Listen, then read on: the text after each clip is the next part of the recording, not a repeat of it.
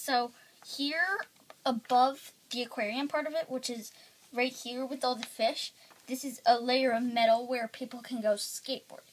So I actually made a roller rink into a aquarium. And here's the crowd. Here's someone skateboarding. He's actually a lot bigger and so is the board. I just made him small. What kind of fish are in there? Oh.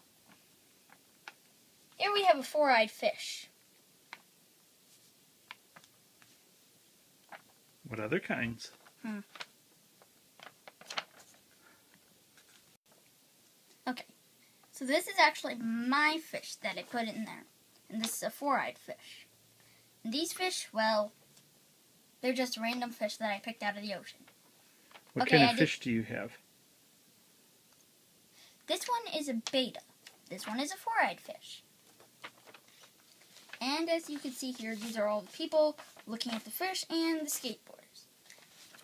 I I would make this a real roller rink, as in adding more fish to it with the aquarium under it, and then it's act and then the roller rink part of it is elevated. Okay, so the inspiration for this one is my fish. And I actually put my fish in there.